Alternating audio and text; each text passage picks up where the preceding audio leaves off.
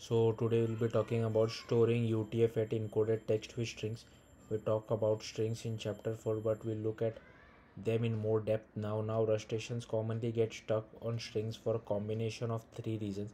Rust uh, propensity for exposing possible errors. String being a more complicated data structure than many programmers give them the credit for and UTF-8 these factors combine in a way that can seem difficult when you are coming from other programming language. We discuss strings in context of collection because strings are implemented as a collection of bytes plus some methods to provide useful functionality when those bytes are interpreted as text. In this section we'll talk about the operations on string that every collection type has such as creating updating and reading. We will also discuss the way ways in which string is different from the other collection namely how indexing into a string is complicated by the differences between how people and computers interpret a string data. What is a string we'll first define uh, what we mean by the term string. Rust has only one string type in the core language which is the string slice str that is uh, usually seen in its borrowed form ampersand str that is called a slice string. In chapter 4 we talked about string slices which are uh, reference to which are references to some UTF-8 encoded string data stored elsewhere. String literals, for example, are stored in the program's binary and are therefore string slices. String type, which is borrowed by Rust standard library rather than coded into the core language, is a growable, mutable, own UTF-8 encoded string type. When Rustacean refers to strings in Rust, they might be referring to either the string or the string slice ampersand str types not just one of those types. Although this section is largely about string both types are used heavily in rust standard library and both string and string slices are utf-8 encoded creating a new string. Many of the same operations available with vect are available with string as well because string is actually implemented as a wrapper around a vector of bytes with some extra guarantees restrictions and capabilities. An example of a function that works the same way with vec t and string is the new function to create an instance shown in listing 8-11 let mute as string colon colon new. This line creates a new empty string called s which can then load data into often we call uh, some initial data uh, that we want to start the string with. For that we will use the to string method which is available on any type that implements the display trait as string literals do listing 8-12 shows two example. Let data equal to initial content. Let s equal to data dot to string. Let s equal to initial contents dot to string. This code creates a strong con string containing initial contents. We can also use the function string colon colon from to create a string from a string literal the code in listing 8-13 is equivalent to the code from listing 8-12 that uses two string. Let s equal to string colon colon from initial contents because strings are used for so many things. We can use many different generic apis for string providing us with a lot of options. Some of them can seem seem redundant but they all but they all have their place. In this case the string colon from and two string does the do the same thing. So which you choose is a matter of style and readability. Remember that strings are utf-8 encoded so we can include any property encoded properly encoded data in them as shown in listing 8-14 okay all of this are valid string values updating a string uh, a string can grow in size and its content can change.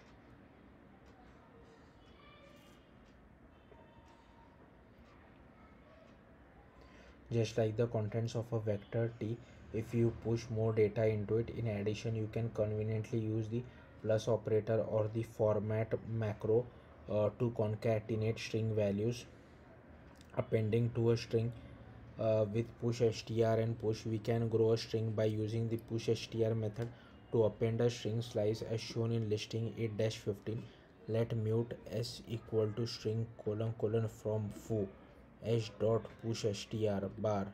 After these two lines s will concatenate foo bar. The push str method takes a string slice because we don't unnecessarily want to take ownership of the parameter.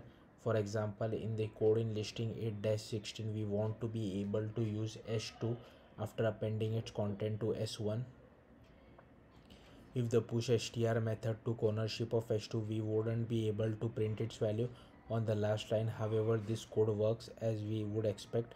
The push method takes a single character as a parameter and adds it to the string. Listing 8-17 adds the letter i to a string using the push method. As a result s will contain lol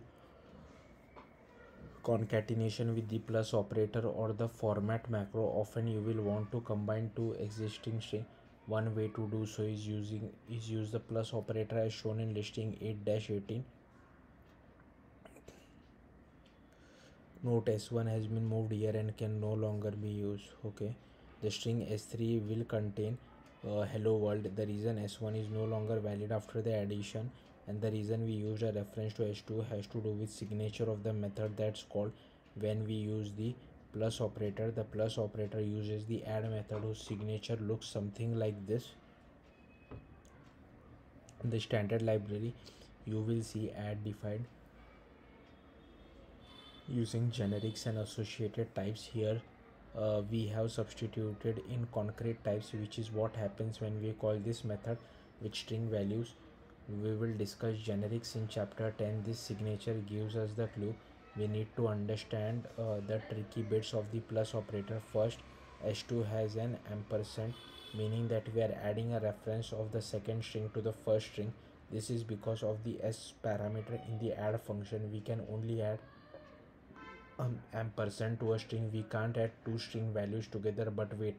The type of ampersand h2 is ampersand string and not ampersand str as specified in the second parameter to add. So why does listing 8-18 compile? The reason we are able to use ampersand s2 in the call to add is that the compiler can coerce the ampersand argument ampersand string argument into an ampersand str when we call add method. Rust uses a deref coercion where which here turns into turns ampersand h2 into an ampersand h2 what is this uh, square brackets dot dot? We will discuss deref coercion in more detail in chapter 15 because add does not take ownership of the s parameter.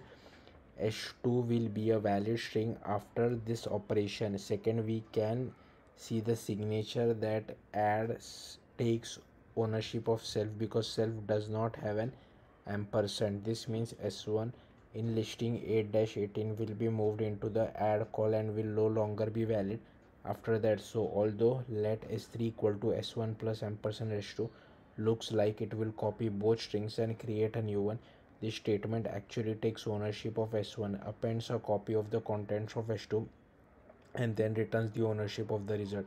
In other words it looks like it's making a lot of copies but isn't. The implementation is more efficient than copying. If we need to concat concatenate multiple strings the behavior of the plus operator gets unwieldy uh, at this point s will be tic-tac-toe uh, with all the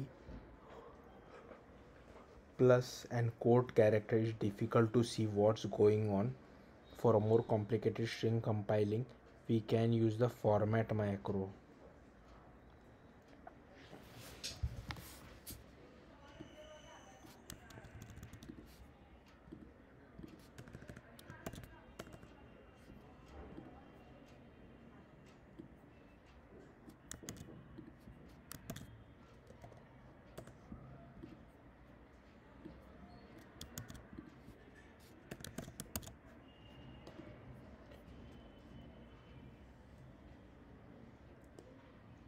this code also sets h2 tic-tac-toe the format macro works, works like a println but instead of printing the output to the screen it returns a string with the contents. The version of the code using format operator uh, macro sorry is much easier to read and the code code generated by the format macro uses references so that this call doesn't take ownership of any of its parameter. Indexing into string in many other programming languages accessing individual characters in string by referencing them by index is a valid and a common operation. However if you try to access parts of a string using indexing syntax in rust you will get an error. Consider the invalid code in listing 8-9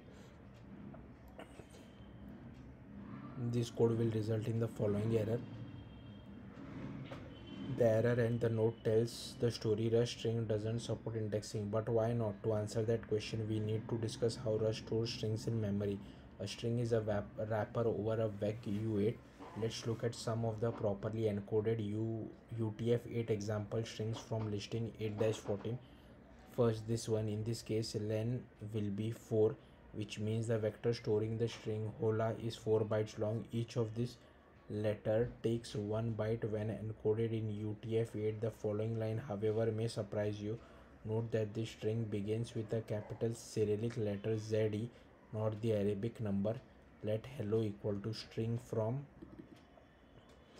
Asked how uh, long the string is you might say 12 in fact rush answer is 24 that the that is the number of byte it takes to encode in UTF-8 because each Unicode scalar value in that string takes 2 byte of storage. Therefore an index into the strings byte will not always correlate to a valid Unicode scalar value to demonstrate consider this invalid rust code. You already know that answer will not be 3 the first letter. When encoded in UTF-8 the first byte of 3 is 208 and second is 151 so it would seem that the answer should in fact be 208 but 208 is not a valid character on its own. Returning 208 is likely not what a user want if they asked for the first letter of the string however that's the only data rust has at byte index 0 users users generally don't want the byte value return even if the string contains only Latin characters. If ampersand hello zeroth index were valid code that return the byte value, it would return 104 and not h. The answer then is to avoid returning an unexpected value and causing bugs that might not be discovered immediately. Rust doesn't compile this code at all and prevents misunderstanding early in the development process. Byte and scalar values and grapheme clusters. Oh my. Another point about utf-8 is that there are actually three relevant ways to look at string from rust perspective. As byte scalar values grapheme clusters the closest thing to what we could call letters. If you look at the hindi word namaste written in the devanagari script. It is stored as vector of u8 values that look like this. That's 18 bytes and it's how computers ultimately store this data. If you look at them as unicode scalar values which are what rust char type is those bytes will look like this. There are six char values here but the fourth and sixth are not letters. They are diacritics that don't make sense on their own finally if we look at them as grapheme clusters we would get what a person would call the four letters that make up the Hindi word. Rust provides different ways of interpreting the raw string data that compa- that computer stores so that each program can choose the interpretation it needs no matter what the no matter what human language the data is, is in a final reason Rust doesn't allow you to index into a string to get character is that indexing operations are expected to always take a constant time but it isn't possible to guarantee that performance with a string because rust would uh, have rust would have to walk through the contents from the beginning to the index to determine how many valid characters there were slicing string indexing into a string is often a bad idea because it's not clear what the return type of the string indexing operation should be. A byte value a character a grapheme cluster or string slice. If you really need to use indexes to create uh, string slices therefore rust asks you to be more specific. Rather than indexing using uh, square brackets with a single number you can use square brackets with a range to create a string slice containing particular types. Here s will be ampersand str that contains the first four bytes of the string. Earlier we mentioned that each of these character was two bytes which means s will be 3a whatever this is. Uh, if we try to slice only part of a characters byte with some value like ampersand hello 0 to 1 rust would panic at runtime in the same way as if an invalid index were accessed in a vector. You should use ranges to create string slices with caution because doing so can crash your program. Method for iterating over string. The best way to operate on a pieces of string is to be explicit about whether you want characters or bytes for individual unicode character unicode scalar values using the car met cars method. Calling cars on separates out and returns two values of type car and you can uh, char car whatever and you can iterate over the result to access each element. This code will print the following 3a Alternatively, the bytes method returns